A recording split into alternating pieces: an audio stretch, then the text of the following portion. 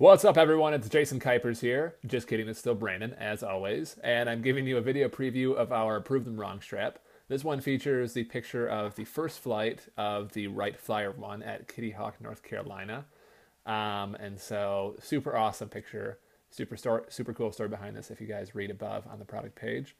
And the inside of this one obviously says Prove Them Wrong in this awesome blue font. And it's collection number 87. We made a thousand of this one total. It'll be for sale on Zox at LA for just $8 a piece. So make sure you grab them before they're gone for good. Have a great day.